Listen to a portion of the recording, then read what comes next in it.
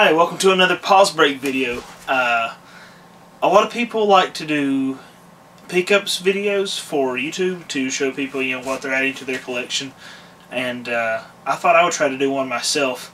So uh, I recently picked up uh, about 15 different titles, and uh, I thought I would share those with you today. Um, over the last few months, I haven't been picking up much, like since Christmas. I mean, I got maybe a couple new games uh, that were, you know, bought retail new, but most of the stuff I like to show off uh, is old stuff that I, I happen to find. It's not necessarily anything expensive. It's just like, well, these are games I used to play. It's neat, and uh, I thought you guys might like to have a look at them. So uh, I got a little bit of game footage for each one of these. So uh, in between the talking and me discussing each one, I'll show you some game footage for each of the uh, video games I'm going to talk about. Let's see. I think the uh, first one we'll start off with is uh, a game called Grabbed by the Goonies for the...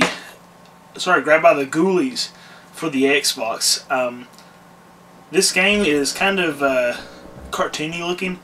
Like it almost has a cel shaded sort of look, and uh, it seems to be like really cute, but almost kind of uh, creepy at times. Uh, it was a Rare game, the, the same people that made uh, the GoldenEye series, so I thought uh, I would pick this up. I'd heard a lot of good things, and uh, I'm hoping that I'll be able to do you know some video gameplay on it soon. Maybe do a review. But it's it's it seems to be really neat. I'm pretty excited about it. Uh, another game that I picked up was this is purely on the uh, box art because I, I, really enjoy box art like anything they use to advertise a video game uh, that sort of thing so uh, this game was solely picked up because of the way it looked on the front and I want you guys to get that kind of perspective too so uh, it's called Blackstone Magic and Steel for the Xbox see like that's why it appeals to me because it looks very RPG-ish. Um, it's really fantasy uh, based. I don't know graphics. I mean drawing. I mean it's, it's, it's some neat stuff. Plus it's called Blackstone Magic and Steel, and you can't go wrong with that. Uh, what I've seen of it so far, it's uh, a lot wilder than I expected. Like some really crazy music in the background. Um, a lot of hack and slash sort of stuff. I kind of expect it to be more RPG oriented, but uh, I haven't heard anything about it uh, up until you know I bought it. So uh, I'm pretty excited to, to uh, maybe do a video on this one too. But yeah, Blackstone, Magic and Steel for the Xbox. Well, one more Xbox game I picked up the other day. For some reason, I've been on an Xbox and PS2 kick. I think it's simply because they're so cheap right now. Uh, you can get them for practically nothing. Uh, page 3, a game store that um, I go to all the time, I work at sometimes, is uh, had a sale last year at uh, when was it? Um, Black Friday. They had a sale on uh, on Black Friday where they had PS2 games and Xbox 360 games 75% off, and that was an incredible sale. And I more than tripled both of those collections uh, that day for those sales. So I have quite a few PS3 or PS2 and Xbox games now. But you know, here's another one I, I didn't pick up that I, I wanted to uh, go ahead and get. That's a Broken Sword for the uh, Xbox. Broken Sword: The Sleeping Dragon. the first Broken Sword game that uh, I'm aware of was the PS1 game, and uh, it was uh, like a cartoon looking. Um, it was uh, drawn graphics, I would imagine, and uh, it was a point-and-click adventure for the PlayStation. And being a fan of games like Discworld and uh, Day of the Tentacle, Leisure Suit Larry, if you've seen that episode of Pause Break, Did he leave anything uh, behind? He was in a hurry. I, I tend to like these type of games. And this one looks a lot different. Of course, it's it's in 3D, and anytime a game transitions from 2D to 3D, I kind of get a little wary, you know, about how good it's going to be. But you know, the box art looks cool. It's it's real classy looking. Um, after playing the first little bit, I thought it was pretty funny. Like the narration and stuff. It's kind of corny now. I imagine at the time it was you know mind blowing or whatever. But uh, I think I'll have a lot of fun playing it. So it's got some really good dialogue. Come on, let me see it. It's pretty neat. Sick That's it for the Xbox games that I picked up.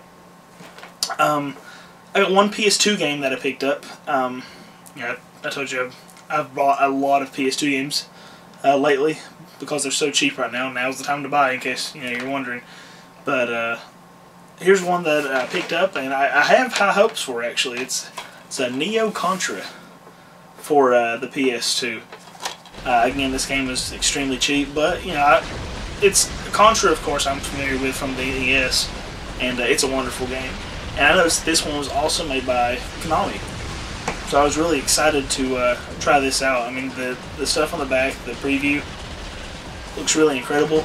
Um, what I played of it, it's, it's kind of a top-down shooter, just running and gunning, and uh, it looks like the type of game that uh, me and Zach might play together one day. So uh, hopefully we'll be able to do a video on that. I showed him when he was up here last time, and he said, "Oh, I hate Contra," you know, but uh, I'm I'm pretty excited.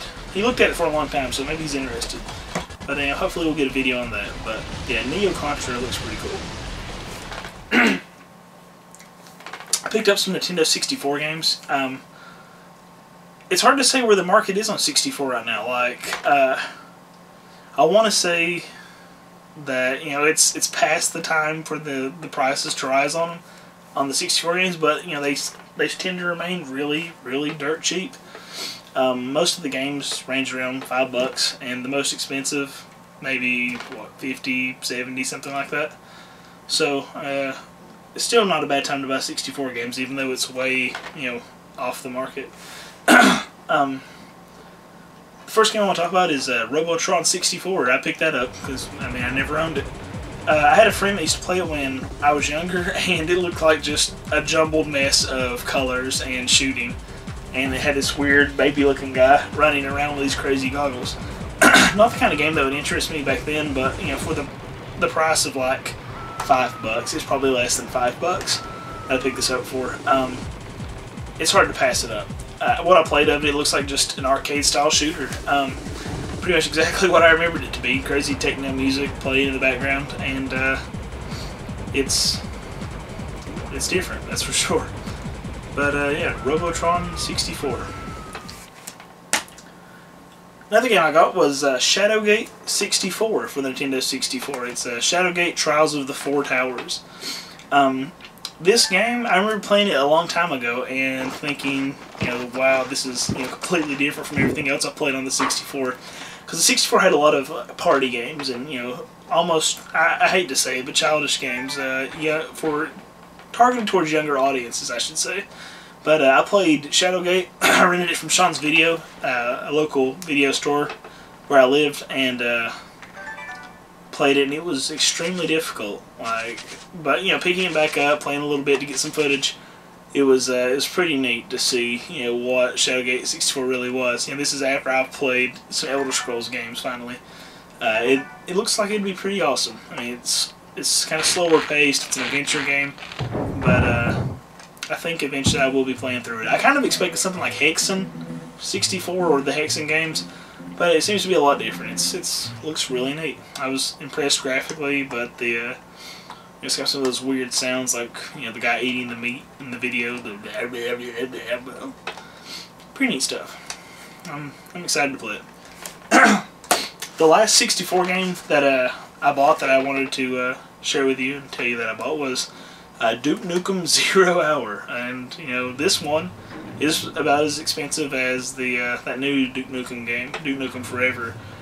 You know they're both dirt cheap. Uh, Duke Nukem Zero Hour is a far cry from Duke Nukem 64, the which was you know the most famous Duke Nukem game for me, or the most uh, well remembered because it was ported to so many different things.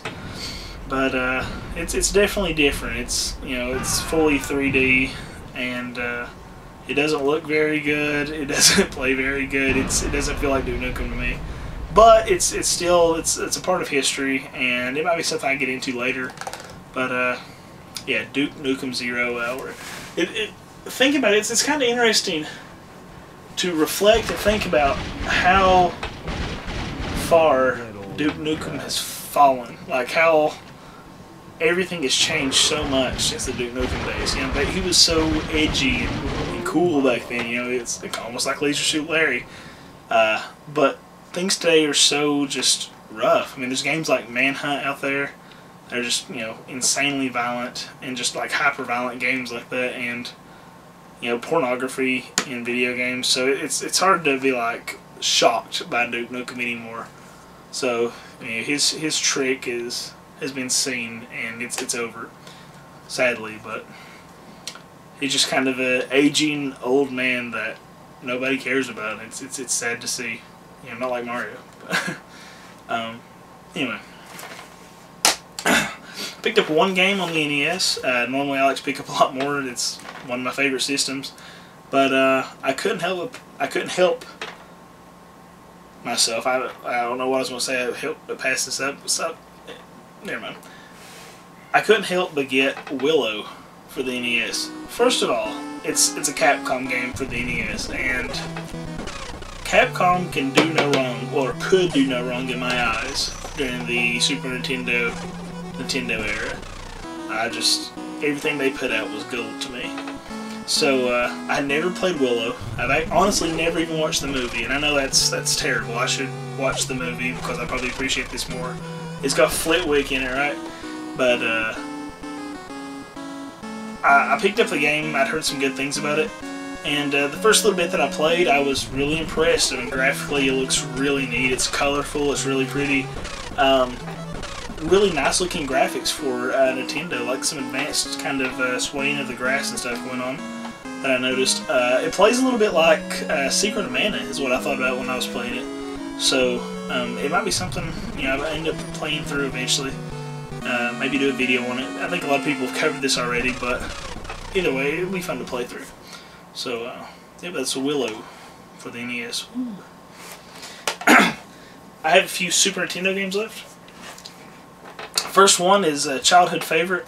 It's True Lies, and uh, you may you may notice the the rainbow there, the LTD, and LTD is notorious for just awful, awful games. But couldn't help like in all honesty, I, I hadn't played this in a long time. And when I saw oh sorry not LTD, LJN. When I saw LJN on it, I was like, "There's, there's just no way." Because I remember that being this being such a good game when I was little. Like me and my buddy Blake played it all the time. Um, you know, Arnold Schwarzenegger looked hilarious in it, little sprite shooting his guns. Uh, it was just, it was a fun little action shooter game, top down.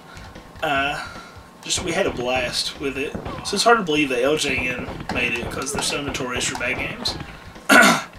um, it's a licensed game, also. You know, of course, everybody's a little weird about that, but um, it's, it's it was pretty good. I really enjoyed it. the next game is uh, Scooby-Doo Mystery for the Super Nintendo, and you know I love Scooby-Doo, uh, but honestly, there's just not that many good Scooby-Doo games out there. There's just so much crap, for lack of better words. There's so much crap with the Scooby-Doo label on it for video games, and uh, I'm not gonna lie, I kind of this game is kind of crap for me. Um, but that's I hate to call it that, but it's just because I've played its brother, the Sega Genesis version, which is superior in every way. It's just the Genesis game is so wonderful. I mean, if you look at prices now and compare the two, you can see, you know, apparently everybody else is, thinks that too because, you know, this game was two or three dollars the Sega Genesis game, which I've still yet to find. It's so extremely rare, apparently. There's only there's very few listings on eBay. I've never seen it outside the video store that I used to rent it at.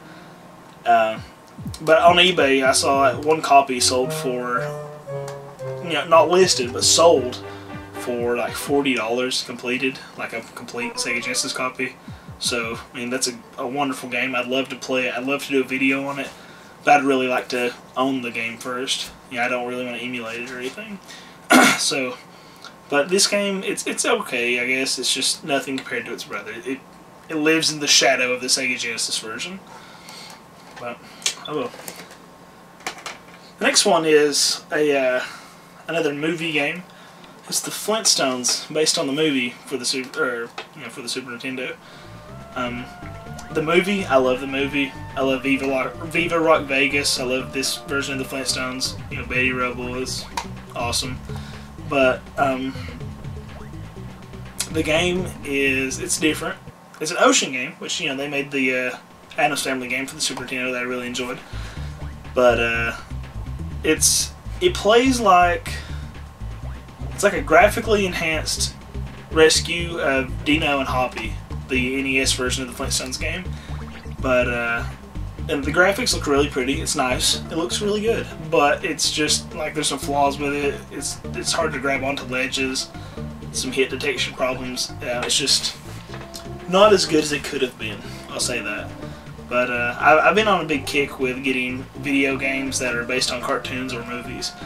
You know, a lot of people say they're notoriously bad, but it, it's pure nostalgia for me to play these sort of games. I think, you know, when the movie came out, this game came out, people were like, "Oh, I love the I love the movie so much. I need to have this game."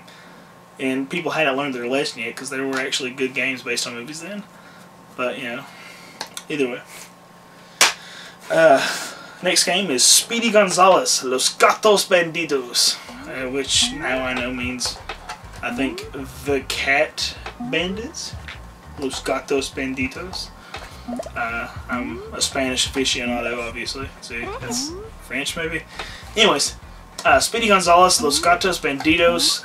I didn't have high hopes for it, but I was really impressed. It plays like Sonic. It's got some cool music, got some awesome, you know, really pretty graphics, big sprites. Uh, I, I always enjoy seeing big sprites on the screen. Uh, it's some neat stuff. Um, hearing the sound clips of the mice talking, it's always pretty funny. But uh, it's it's a game I really think I can get into. I could probably get into and play all the way through it. So uh, that might be one to do in the future. anyway, the next game I have here is uh, a classic. It's actually it's starting to go up in price. I've noticed. Uh, I guess people are starting to really recognize how awesome it is. That's uh, Joe and Mac for the Super Nintendo. Uh, Joe Mac is a game that's about cavemen. I'm not really sure of the story. I didn't play that much through it. It's been a long time since I played. I just recorded a little bit of footage, but it's just cavemen. And this is another two-player game. Me and Zach can play together. Uh, maybe do a video for. But uh, big sprite cavemen beating up on stuff in the game. It's it's really neat. You use your club. You jump around. You hit stuff with the club. Um, I always remember having a lot of fun with it. So uh, it's actually kind of difficult, as I recall, but uh, it's it's pretty neat. It's a good game, and I'm I'm proud to finally own it. So uh, yeah, exciting stuff. The uh, the last game I have is kind of the uh, the crown jewel of this pickup lot. Um, it's not crazy expensive, or well, it is pretty rare, but it's not really crazy expensive at this point. But it's a game that I think will continue to go up in price uh, as time goes on, which you know most of the good ones do. But uh, I remember this game being you know really dirt cheap compared to its uh, sequel. But um, okay, let me take it out of the plastic first before I show you. I hadn't even taken it out of here. I mean, it's it's not new. It's just it was put in plastic because it's a little more expensive. They're trying to protect it. Um, I've noticed this trend. It's an RPG heads up. Um, it's an RPG for the Super Nintendo, and I've noticed the trend that all of the good RPGs, of course, are really expensive now. And I think now it's getting to the point that people have recollected those uh, RPGs, these uh, Super Nintendo RPGs that era, and uh, now they're trying to collect all all the RPGs for that era, like uh, including the bad ones. You know, even the bad ones are going up in price. And while this is not necessarily a bad game, it's just it's not as well recognized as say Chrono Trigger or uh, uh, Super Mario RPG. So, but uh, this the game that I picked up. I was really happy to get it at such an awesome price. Uh, thanks to you know Page Three, they they haggled with me a little bit. It was very cool. Um, I got Lufia Part One, which is the sequel, weirdly enough, and Part Two is the prequel. But it, it's Lufia and the Fortress of Doom. Uh, I haven't played much of this game. I played a little bit to get some footage, and I've watched some YouTube videos on it. But uh, it has some really neat looking sprites. It's a straight up RPG. Uh, really cool looking stuff. I remember seeing it on the shelf a lot uh, whenever I would go to video game stores or uh, rental stores, and uh, I just didn't really care about it. Like I'd look at the back of the box and you know see numbers and such, and I was like, ah, whatever. You know, on a platformer, give me some Mario or something. I wasn't really big into RPGs at the time, and when the Super Nintendo first came out. But uh, you know, now I'm trying to collect, of course. And uh, I don't have Lufia 2 yet, but I now I own Lufia 1, and I'm, I'm very, very happy to own it. Uh, I've got a lot of the good RPGs for Super Nintendo, so I'll be adding this one to it. But uh, yeah, that's kind of the the main piece in the the pickup for uh, today's pickup. Uh, but you know, actually, I think I've enjoyed doing this video, uh, just talking a little bit about games and open forum sort of stuff. It's unscripted. I know I jumble around words like I am right now, but it's it's fun for me to just talk about video games, which I love to do. So um, I think I'll continue to do these, like once I pick up a few games here and there. So uh, if you like it, please you know hit like, subscribe if you haven't subscribed. I, I really appreciate it. Um, I'm trying to get my YouTube channel going a little more. Uh, I had I'd taken a break from it for a while, but uh, I'd really like to uh, see it go somewhere. You know, I like to do this sort of thing. So uh, yeah, that's the 15 games that I have. Uh, oh, sorry, that was 14 games. I just saw the other one over there. Uh, one second, I'll get that. Sorry. Um, last but not least, and not best by any means, but still very cool. Um, I nearly forgot this game. Uh, I picked up Ren and Stimpy, Stimpy's invention for the Sega Genesis. Uh, it's actually it's a complete copy. It's really uh, it's not bad looking by any means. Really nice instruction manual. Uh, little plastic tabs broke off of the Genesis uh, card or the Genesis box, but you know most of them are because they're they're hard to keep. But uh, yeah, I picked this game up. It was really, really cheap. And uh, me and my buddy Zach played through it. And, uh, well, we played some of it. We didn't make it all the way through it. And uh, we recorded that so that if that's not on the YouTube channel already at this point, when this gets on there, it will be on there soon. Um, we had fun playing it. It's it's just as funny as I remembered it 20 years ago. So uh, it's uh, a really cool game. The Stimpy's Invention, Ren and Stimpy game. But, uh, yep, that's the last of my pickups. I'm done talking. Uh, as I said before, if you enjoyed it, please, you know, like, subscribe, comment. Let me know what you think. If there's any of these games, you know, you'd like to tell me about, you'd like to discuss, you know, just send me a message, you know, just talk to me. I'd be happy to. Um, but yeah, thank you for watching uh, Pause Break, and it's it's really appreciated. So I'll see you guys next video. If you're watching this video, chances are you're interested in the same kind of things that I am, and uh, that's the kind of stuff that Page 3 sells. They've always given me a good deal, whether it's you know buying, selling, trading, whatever. Uh, this is a quick look at their website where you can check out reviews that the uh, workers have written, uh, including yours truly. Uh, you can also see some of their merchandise, uh, find out what's going on in the store tournament-wise, or even get linked to their eBay store. All of the stuff they have listed on eBay is fairly priced, uh, but they even give you the option of making them an offer on most of the items. So uh, if you're looking for a deal, you know they're not scared to haggle with you. Uh, if you're local, you know stop by and support them. That's that'd be really really kind of you. Uh, there's not too many stores around like this, and especially not in this area. If you're not local, uh, make sure you check them out on eBay. I mean, they can make you the type of deals that not everyone can. So, uh, you know, thanks again for watching.